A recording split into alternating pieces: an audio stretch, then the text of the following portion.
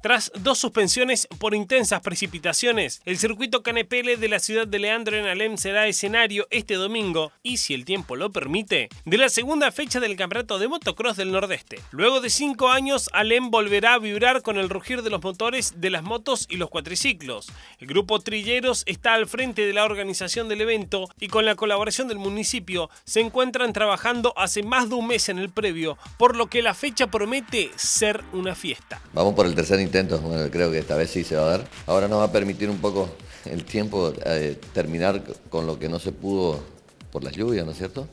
Eh, pero bueno, eh, ya te digo, con, todo, con todas las pilas puestos para, para este fin de semana, con, con muchos debuts de muchos pilotos de la zona y, y que se van a estar sumando más a los que ya estuvieron en la, primera fecha. ¿no?